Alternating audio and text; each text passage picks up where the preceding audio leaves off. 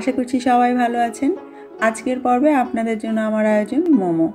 এর আগে আপনাদের সঙ্গে চিকেন মোমো এবং মোমো ডিপিং সসের রেসিপি শেয়ার করেছিলাম, যেগুলো আপনারা খুব পছন্দ করেছিলেন। তাই আজকের পর্বে নিয়ে এসেছি ভেজ মোমো। এখন শীতকাল চলছে, বাজার ভর্তি সবজি। কনকনে শীতে গরম গরম মোমো খাওয়ার মজাই আলাদা। তাছাড়া সামনেই ভ্যালেন্টাইন্স ডে চাইলে প্রিয়জনের জন্য স্পেশাল কিছু বানাতে এই মোমোর ব্যবহারটা করতে পারেন। আশা করছি সবাই খুব পছন্দ করবেন। চলুন তাহলে শুরু করা যাক। শুরুতে আমরা মোমোর বাইরের আবরণ অর্থাৎ র্যাপটার জন্য একটা খামির বানিয়ে নিব। তাই এক কাপ আটার সঙ্গে আমি ওয়ান ফোর চা চামচ লবণ মিশিয়ে নিচ্ছি। আটার পরিবর্তে আপনারা চাইলে অবশ্যই ময়দার ব্যবহার করতে পারেন। এবারে এর মধ্যে পানি দিতে হবে। আমি একদম নর্মাল ট্যাপের পানি দিয়ে খামিরটা মাখবো। আধা কাপ পানির থেকে আমি তিন টেবিল চামচ পানি আগে থেকেই সরিয়ে নিয়েছি এবং তার সঙ্গে আধা চা চামচ মিলিয়ে দিলাম ভিনেগার। ভিনেগারটা অপশনাল তবে দিলে মোমো অনেক সফট হয়, সেদ্ধ হওয়ার পর আটা আটা বা চিউই ভাবটা থাকে না। আপনারা চাইলে দিতে পারেন। এবারে খুব অল্প অল্প করে পানিটা আমি এই ময়দার মিশ্রণে দিয়ে মেখে নিব। একবারে পানিটা না দেয়াই ভালো, যদিও একদম অ্যাকুরেট মাপ এটা পানির। পানিটা দেয়া হয়ে গেলে তারপরে হাত দিয়ে এটাকে খুব ভালো করে মথে নিতে হবে। আমাদের এই খামিরটা খুব বেশি শক্ত হবে না, আবার অনেক বেশি নরমও হবে না। তবে কিছুটা শক্ত হবে প্রথম দিকে। আমাদেরকে যেটা করতে হবে, মিনিট দশেক ধরে খুব ভালোভাবে এটাকে মথে নিতে হবে যতক্ষণ না হাত এবং বাটিটা পরিষ্কার হয়ে আসছে। এই যে দেখতে পাচ্ছেন আমাদের এই খামিরটা কিন্তু একটু টাইট ধরনের হয়েছে। তো আমাদের এখন এটাকে এক ঘণ্টার জন্য রেস্টে রেখে দিতে হবে। তাহলে এটা একদম পারফেক্ট সফটনেসে চলে আসবে। তখন আমাদের বেলতে অনেক সুবিধা হবে। এই ফাঁকে আপনারা সবজির কাটাকুটিটা সেরে নিতে পারেন। এক ঘণ্টা পরে এইবারে আমি আপনাদেরকে দেখিয়ে দিচ্ছি। দেখুন, সেই ময়দার খামিরটা কিন্তু বেশ সফট হয়ে এসেছে।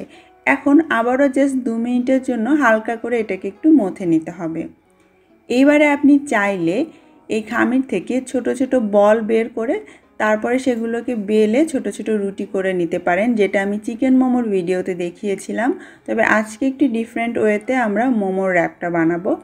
তাই আমি প্রথমেই এটার থেকে বড় একটা দলা নিয়ে ভালো করে বেলে নিব। আর বেলার জন্য আমরা অবশ্যই একটু ময়দার ব্যবহার করতে পারব, কারণ আমাদেরকে অনেক পাতলা করেই বেলতে হবে রুটিটা। তবে খুব বেশি ময়দা না দেয় ভালো। সেক্ষেত্রে আমাদের খামিরটা আবার কিন্তু শক্ত হয়ে যেতে পারে এবং বেলতে অসুবিধা হতে পারে। আর বাকি যে খামিরটা আপনি রেখে দিবেন, সেটা অবশ্যই ঢেকে রাখবেন, না হলে কিন্তু ওপর থেকে ড্রাই হয়ে যাবে। আর দেখতেই পাচ্ছেন, রুটিটাকে কিন্তু আমি খুব পাতলা করে বেলছি। আপনি যত পাতলা করে বেলবেন, আপনার মোমোটা তত সফট হবে আর খেতে মজা লাগবে। এই যে দেখতে পাচ্ছেন, বেশ পাতলা করে বেলেছি। তবে কাটার আগে অবশ্যই এটাকে একবার উল্টে নেবেন। তাহলে যতটুকুন শ্রিঙ্ক করা সেটা শ্রিঙ্ক করে যাবে আর রুটিগুলো কেটে নেওয়ার পর আপনার আর ওটা ছোট হয়ে যাবে না। এইবারে একটা কুকি কাটার দিয়ে আমি বড় রুটি থেকে ছোট ছোট কতগুলো গোল রুটি কেটে নিচ্ছি।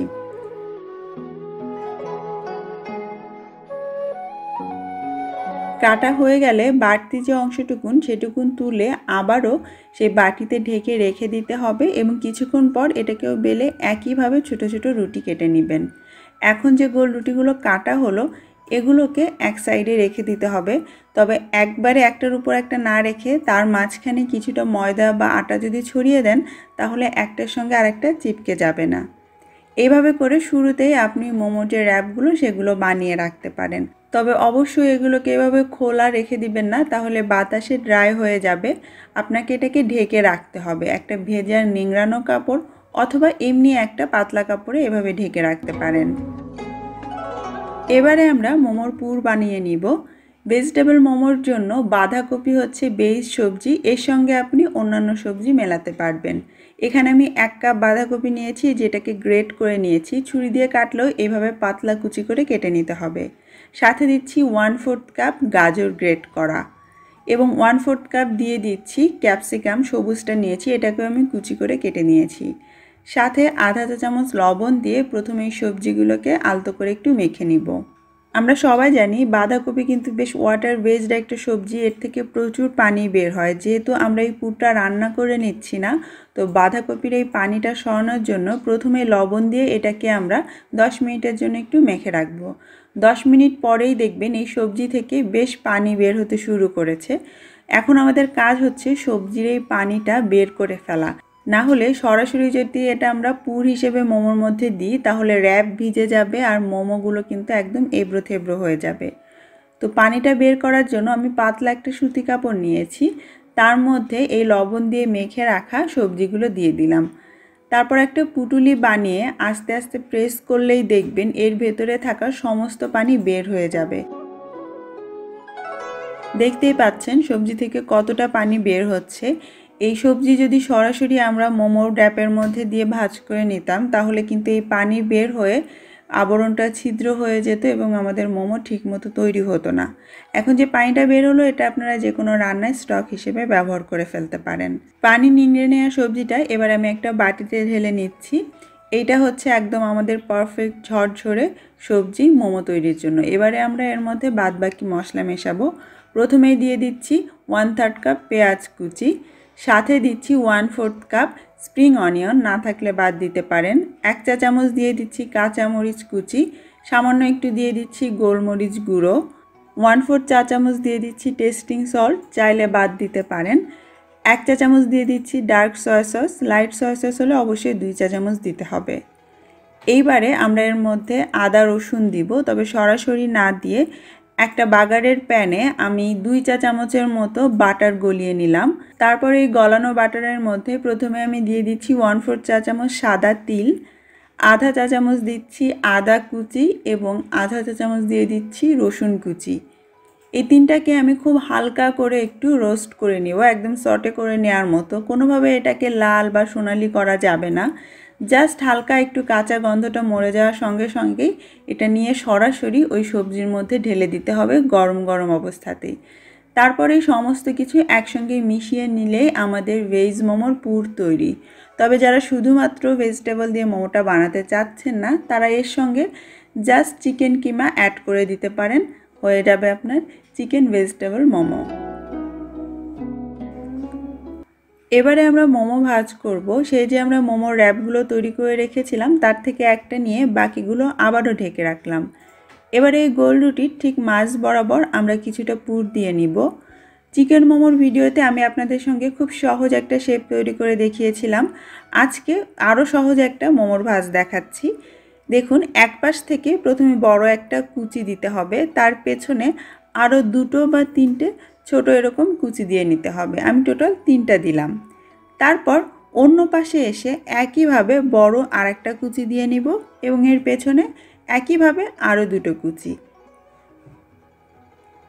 এই যে ঠিক এভাবে। তারপর কুচিগুলো হাত দিয়ে একটু সোজা করে দিব। এবারে মোমোটা ঘুরিয়ে নিলাম। এর পেছনে যে খোলা অংশ, তার ঠিক মাছ বরাবর ধরে সামনের মাছ বরাবর এইভাবে একটু চিমটি দিয়ে আটকে দিব। এবারে দুই পাশের খোলা সাইড দুটো ধরে একসঙ্গে ভালো করে সিল করে দিতে হবে এবং এটাকে খুব ভালো করে চেপে চেপে পাতলা করে সিল করবেন যাতে দুটো রুটি একসঙ্গে হওয়ার কারণে যে একটু মোটা ভাব এসেছে সেটা চলে যায় এবং একই সঙ্গে মোমোটাও ভালো মতো সিল হয়ে যায়। দেখুন কত সুন্দর একটা শেপ হয়ে গেল। অনেক সহজ, তাই না? আপনিও পারবেন। যতখানি আমি পুর বানিয়েছিলাম, তাতে টোটাল আমার পনেরোটা মোমো হয়েছে, অল্প একটু খামির বেঁচে গিয়েছে। এখন আপনি যদি একবারে সবগুলো শেপ দিয়ে নেন, তাহলে ভাপ দেওয়ার আগ পর্যন্ত এগুলোকে অবশ্যই ঢেকে রাখতে হবে, যাতে বাতাসে শুকিয়ে না যায়। আর আজকের মোমোগুলো আমি আপনাদেরকে স্টিমার ছাড়াই ভাপ দিয়ে দেখাবো। তার জন্য আমি একটা নর্মাল চায়ের হাঁড়ি নিয়েছি, তাতে দু কাপ পানি দিয়ে প্রথমে এই পানিতে বলক তুলে নিলাম। পানিতে যখন ভাপ চলে এসেছে, তখন এর উপরে একটা স্টিলের ছাকনি বা জালি নিয়ে নিতে হবে, যার উপরে দিয়ে আমরা এই মোমোগুলো ভাপিয়ে নিব। ঠিক যেভাবে আমরা ভাপা পিঠা তৈরি দেখিয়েছিলাম। মোমোগুলোর নিচে আমি একটা বাঁধাকপির পাতা বিছিয়ে দিয়েছি, এটা একেবারেই অপশনাল, না দিলেও কোনো সমস্যা নেই। ঢাকনা দিয়ে ঢেকে দিলাম, আর ঢাকনার ছিদ্রটাও আমি বন্ধ করে দিচ্ছি, যাতে ভাপটা খুব ভালোভাবে মোমোর গায়ে লাগতে পারে। এক্স্যাক্টলি বারো মিনিট পরে আমি ঢাকনাটা সরিয়ে নিচ্ছি আর এর মধ্যে আমাদের মোমো কিন্তু সেদ্ধ হয়ে গিয়েছে। চুলার আঁচটা আমি রেখেছিলাম মিডিয়ামে। আপনি চাইলে পনেরো মিনিট পর্যন্ত অপেক্ষা করতে পারেন। আর দেখুন, কত সুন্দর মোমোগুলো তৈরি হয়ে গিয়েছে। এবারে গরম গরম এই মোমোগুলো পরিবেশন করতে হবে। দেখলেন তো, কত সহজে ভেজিটেবল মোমো তৈরি হয়ে গেল। কোনো ধরনের স্টিমার ছাড়া। আর খামিরটাও কিন্তু আমি আটা দিয়ে তৈরি করেছি। এখন এই মোমোগুলো আমি সার্ভ করছি স্পেশাল মোমো চাটনির সঙ্গে। আপনি চাইলে আপনার পছন্দ মতো যে কোনো চাটনি বা ডিপিং সসের সঙ্গে এই মোমো পরিবেশন করতে পারেন। এখন একটা মোমো আমি আপনাদেরকে ছিঁড়ে দেখাই। দেখে নিশ্চয়ই বুঝতে পারছেন এটা আসলে কতটা সফট হয়েছে।